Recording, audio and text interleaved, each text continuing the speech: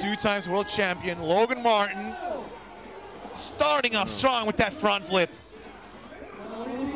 Logan Martin is the man everyone is watching this year. 720 double bar spin. Wow. Getting high on that wall. He's just got box trips for tricks for days. This is a lot like his setup back in Australia at his house that he trains on every day.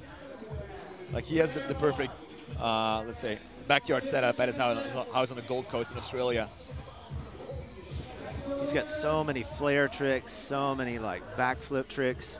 And he makes it look flawless. Like he's not even breaking a sweat. This man is a demigod. Oh, look Finding at that. a landing. Come on, Logan, keep it going. The last couple of seconds. One more. Oh, nice flare. Textbook style. And All right. ending with a barrel roll. It's okay. There's always going to be another day for him to show what he can like, do. A, like a champ. But speaking of champs, now we've got Starting off strong with that front flip no-hander by Logan Martin. Look at that. Oh, 720 tail whip. This is why Logan won the gold medal for the 2020 Olympics. He just has so many crazy tricks. Going, getting high on that backflip bar spin no-hander. Flare, downside tail. It might have been an, an opposite-footed one.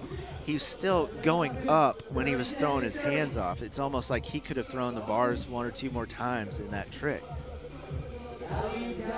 Logan just has such strength, you know, such big airs. Even this, he's probably, you know, maybe doing something that's, like we said earlier, safe for Logan.